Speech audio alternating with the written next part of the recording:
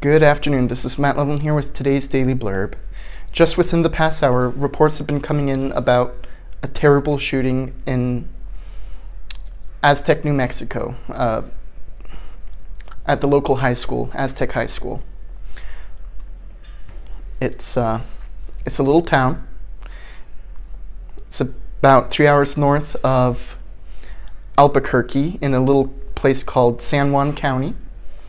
And uh, reports are still coming in, uh, trying to figure out what went on, what happened. Uh, but what we know right now is that the shooter is dead. Body count at two people. And uh, really, it's just a terrible, terrible tragedy. And uh, Aztec, New Mexico really has a special place in my heart.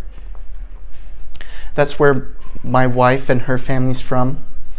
Uh, her father used to teach at Aztec High School. Uh, he had a teaching position there up until uh, the summer.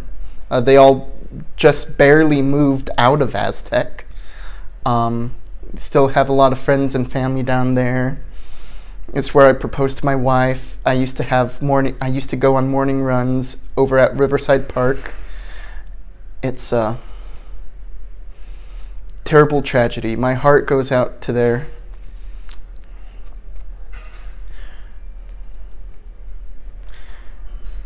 and we've seen this pattern so many times. Uh, school shooting, well, some kind of shooting happens somewhere people react saying, How could this have happened? How do we stop it again next time? And then it happens again.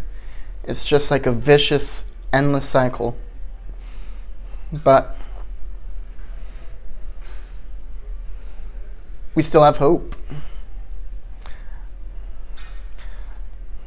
Hope that things will turn out all right. Hope that friends and family will be taken care of. Hope that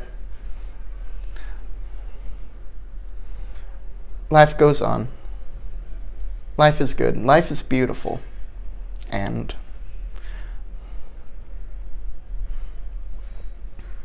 I think the best way we show that is just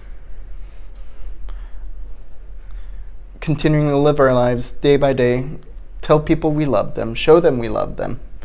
Give, give your family a hug. I know I will tonight. But that's today's blurb. Have a wonderful afternoon. Stay safe. And remember the blurb is the word.